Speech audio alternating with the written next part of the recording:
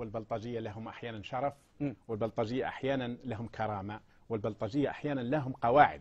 أما أما هذه ال ال الأجهزة؟ الأجهزة التابعة للعصابات همها الوحيد هو عبادة الحاكم همها الوحيد هو عبادة الحاكم في الداخل والحاكم في الخارج لأن هذه الأنظمة في واقع الأمر هي أنظمة مفروضة على شعوبها ليس فقط بهذه العصابات الداخلية ولكن بقرار غربي خارجي. هذا مش موضوعنا. لكن نعم هذا مش موضوعنا لكن هو مترابط.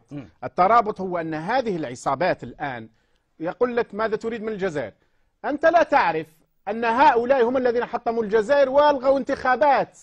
جرت باعتراف العالم وباعترافهم هم. طب ألم يحاربوا الإرهابيين في الجزائر؟ أجهزة صنعوهم. الأمن أجهزة الأمن. صنعوهم. هل تستطيع أن تنكر أن لولا لولا. لولا لولا خدمات أجهزة الأمن لولا أفعالهم لولا أفعالهم العظيمة لراحت الجزائر بستين ألف داهية. لماذا تريد أن تحاكم الجزائر الأمن؟ صنعوهم. ها هو أحد الكبار الجنرالات كمال عبد الرحمن ممن صنع الجماعات الإسلامية المسلحة. نعم كانت هناك مجموعات اعتقدت أنها تكافح أو تدافع عن حقها لكنها أخطأت في ذلك. نعتقد أنها أخطأت في ذلك لكن ها هم الذين صنعوا. هذا القول ليس من عندي من عند عقداء سابقين في المخابرات. هذا الرجل كان هذا جنرال. رجل مخابرات؟ هذا رجل صنع كان مخابرات صنع الجماعات الإسلامية المسلحة صناعة 90% منها صنعها صناعة. وهذا الرجل الذي لا يعرفه أغلبية العالم قائد المخابرات الجزائرية من سنة 90 لم يتغير. كل ما هناك زاد رتبا من عقيد إلى فريق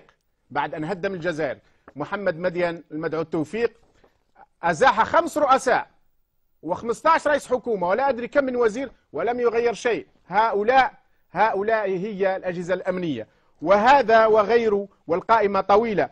هذا الذي يقوم الآن بالتجارة في دول خليجية ويزور دول خليجية ويتسكع في دول خليجية. ذبح عشرات الآلاف من الجزائريين واسمه محمد العماري. كان مجرد ضابط وكان يوما ما داخل الجيش الفرنسي يقاتل الثورة الجزائرية ثم أصبح قائد للجيش وأعلى رتبة سنة 94 طب بس وغيره. بس هذا يعتبر وهذا افتراء. خالد هذا نزار. افتراء يا سيدي. والقائمة هذا. طويلة. هذا القائمة افتراء. طويلة. هذا افتراء يا سيدي. ولا يمكن أن تفتري على الناس بهذه الطريقة. يعني كيف يكون افتراء؟ كيف يعني يكون يعني افتراء؟ تريد أن تقول أن دعني أكمل من فضلك. كيف يكون افتراء عندما يعرفهم الناس ويعلمون أن هذا هؤلاء هم الذين حطموا جزائر شهداء جزائر الثورة وحولوها الآن هذا في الجزائر وضع خاص. عصابات. ليس وضع خاص. ينطبق الأمر على العالم العربي؟ ينطبق عليهم جميعا وإن اختلفت النسب. وإن اختلفت النسب والمستويات حقيقة. طيب. لكن ينطبق عليهم جميعا. كيف كيف ينطبق ينطبق؟ عليهم لأنه نفس العقلية نفس التفكير. التعذيب سياسة استراتيجية حكم. التعذيب في بلداننا مع أن أول مادة من من قانون تعذيب أو ما تندد طيب. بذلك. لكن أصبح التعذيب في بلداننا استراتيجية حكم وسياسة حاكم والمستبد يفرح وهؤلاء يقدمون له الأوضاع مثل ما يقول أخونا. على أن الأمور ناصعة وبيضاء و و و إلى آخره. أوطاننا تغرق. وإن لم تفق هذه الشعوب ستجد أنفسها ليس كالصومال خلينا بموضوع. محاكمة الأجهزة الأمنية محاكمة و... الأج- و... والأرجنتين. والأرجنتين. كي لا نخرج على الموضوع م- كثيرا. ليس فقط الأرجنتين. في الشيلي هذا بينوشي مع أنه صنع المعجزة الاقتصادية الأرجنتينية. ولكن لو أنه انقلب على على على آه، في 73 على ال- اللندي، على على اللندي.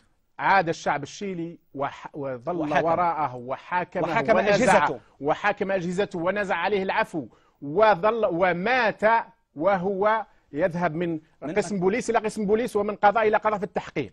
غيره وجنوب جنوب إفريقيا وما أدراك ما جنوب إفريقيا تحول الأمر من دولة عنصرية إلى دولة الأفارقة بعد أن أنشأوا فعلا حقيقة لجنة حقيقة وليس بس, بس كالمغرب. محمد عربي زيتوت في جنوب أفريقيا لم يحاكموا أجهزة الأمن وضباط المخابرات فقط أتوا بهم ليعترفوا بجرائمهم فقط لم يحاكموا. وضعوا لهم ثلاث شروط.